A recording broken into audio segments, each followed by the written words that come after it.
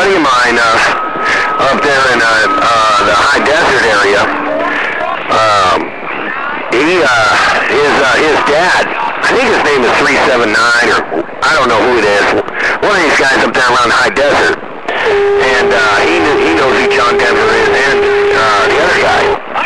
Well, anyway, uh, when uh, we went up to uh, 1-800 Toll Free's house, he, uh, he bought a box right there. Getaway's building it.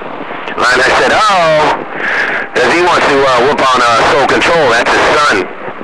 And I said, uh-oh, that means John Denver is going to be 10-7 on 28. Let me flip this over here. Let me what's going on over, man. I'm gonna wish you a blessed, blessed Christmas over that way, and even a better New Year.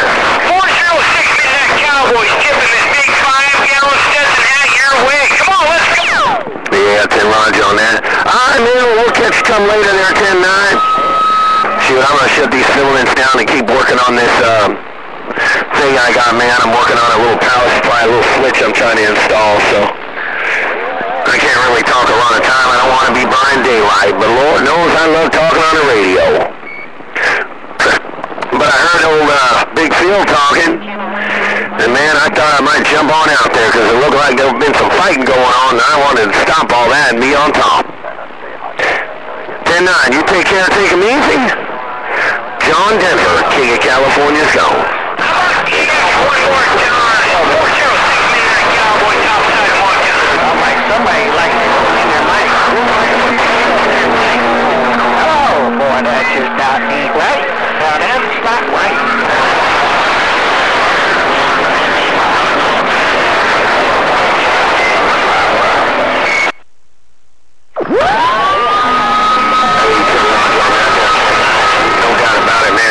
Phil got a good station now, man.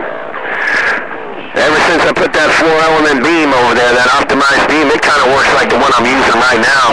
Except for his got a gamma rod and mine's direct fed, but they both about the same on that end. No doubt about it. But he's got the better spot.